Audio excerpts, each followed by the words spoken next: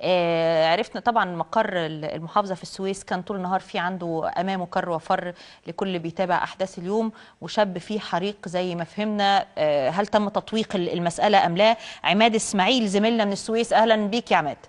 أهلا وسهلا بيك يا أستاذ منى. أنت بخير النهارده كنت آه، وسط الأحداث كده كدت أن تكون من المصابين يعني. والله يعني الحمد لله إحنا كنا هنا متواجدين في السويس من الساعة 9 صباحا.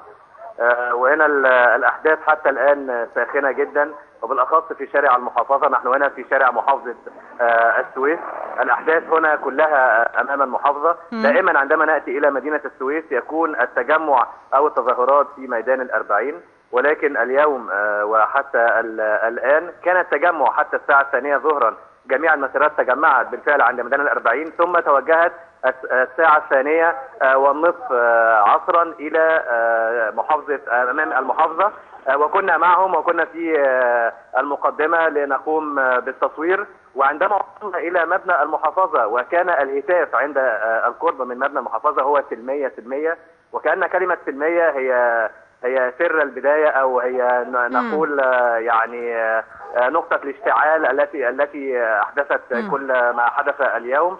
فبعد ذلك وجدنا قوات الأمن قامت آه، بضرب آه، غازات مسيلة للدموع بكثافة آه، كبيرة جدا جدا حتى أغلب آه، الناس ابتدوا أن يقعوا على الأرض ويحصل يحدث حالة من ال- ال- الدهس وحالة من الجري والهلع والفزع. وبالفعل يعني حتى أنا وقعت وكان السائق معنا في مغشيا وقع مغشيا عليه وكانت حالة كثيرة ولكن اللي كان يعني في اللي كان بيحمي اللي كان بيحمي بيحمي. مبنى المحافظة. معلش آه، آه، آه، عماد عماد أنا شفت الصور اللي أنت بعتها لنا وشفتها كمان على وكالات أخرى. مين اللي كان بي... مين اللي كانوا بيحموا مقر المحافظة؟ دول مك... دول آه، كانوا وزارة الداخلية؟ آه، هم عساكر لابسين أسود يعني يبدو أنهم كما نعرف أنهم، وكاكي كمان، آه، مثل ملابس. الأمن المركزي. آه.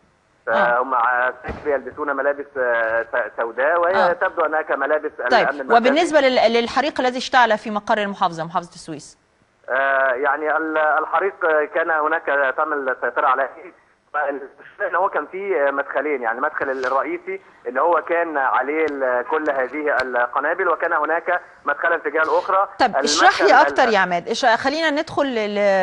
لروح الخبر مش بس نصه المجموعات اللي تجمهرت آه، في السويس واختارت النهارده بديلا لميدان الأربعين مقر المحافظة.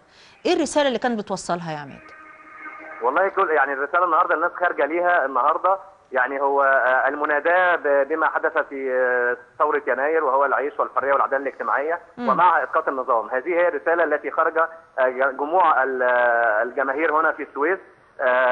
لهذا النداء طيب من من رؤيتك أو على. الأقل من استشفافك لل- للجماهير اللي موجودة دي كانت جماهير تابعه لحركات سياسية بالأساس. ولا لأ يعني ده سؤال مهم جدا أستاذة منى. يعني هو آه، الأغلبية هنا ممكن نقول بنسبة آه، يعني يعني بدون مبالغة بنسبة 80% هو جمهور عادي أو ممكن 85% لأن أنا كنت لسه أقول لحضرتك من شوية إن مع الجري ومع حالة آه. ال- الهلع التي حدثت كان هناك كثير من السيدات والأطفال لأن كان هناك أسر تنزل بالفعل وتمسك لافتات وهناك أسر للشهداء.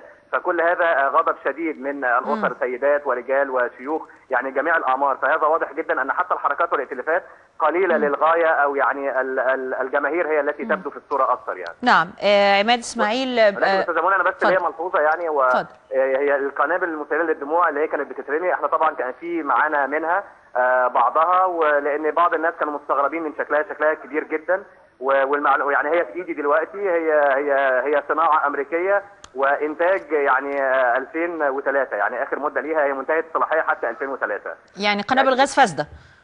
آه بالظبط. هي منتهية الصلاحية حتى 2003 إحنا بس يعني دلوقتي بنحاول هو آه، الخوف يعني بيبقى من تاريخ الصلاحية انه إنه قد يتحول مش بس ال- ال- الأثر بتاعه هو تفريق المتظاهرين إنه ممكن يبقى قتل المتظاهرين لما بيبقى في اكسبايري ديت أو يعني وإحنا يعني بنحاول دلوقتي. بس على عشان الشبكة هنا في صعوبة جنب المحافظة. لو ظهرنا معكم على الشاشة الصورة آه، هنور- هنوريها لكم على الشاشة يعني. ارجوك أرجوك هرجع أتواصل معاك تاني يا عماد. وكمان مع ضيفنا دكتور عمرو حمزاوي بعد الفاصل لأنه عندنا صور كتيرة لازم نعرضها ونعلق عليها و...